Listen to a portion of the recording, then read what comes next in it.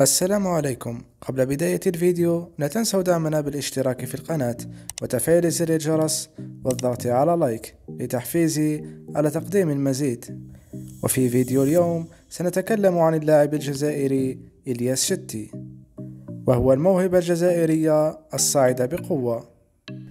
هو لاعب جزائري يبلغ من العمر 26 سنة من مواليد 22 يناير 1995 يلعب حاليا في مركز الظهير الأيسر في الترجي الرياضي التونسي وأصله من ولاية عنابة.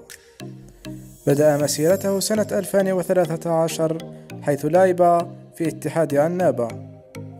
بعدها مباشرة انتقل إلى اتحاد الشاوية ليلعب معه ثلاث مواسم. بدأ إلياس شتي في إظهار مواهبه وقدراته الدفاعية. ليتم استخدامه رسميا من طرف شبيبة القبائل ليبدأ رحلته الاحترافية حيث قدم موسمين رائعين في هذا الفريق وبعدها قرر الاحتراف خارج الجزائر.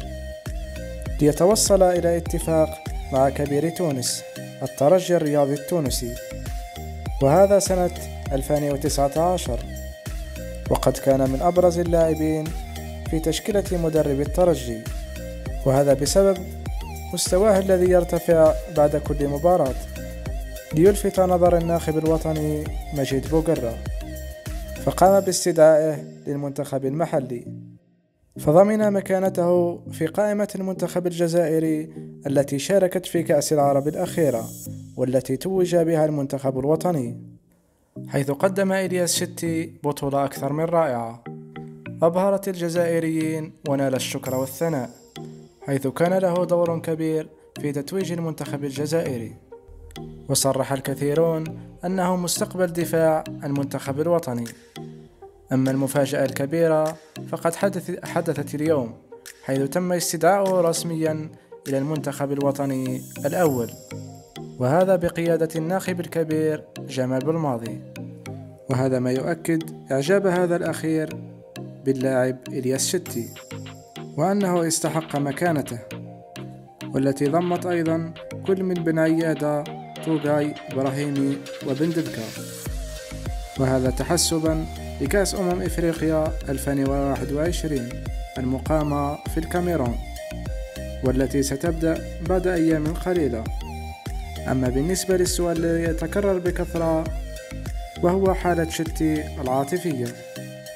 حيث انطلقت بعض الشائعات مفادها أن اللاعب الجزائري في علاقة مع الممثلة الجزائرية نورهان زغيد. وهذا بعد انتشار صورة لهما عبر مواقع التواصل الاجتماعي.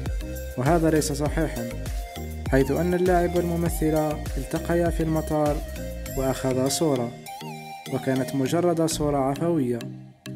ولا توجد أي علاقة بين الثنائي. وصلنا إلى نهاية الفيديو. إذا أعجبكم لا تنسوا دعمنا بالاشتراك في القناة وتفعيل زر الجرس والضغط على لايك. السلام عليكم.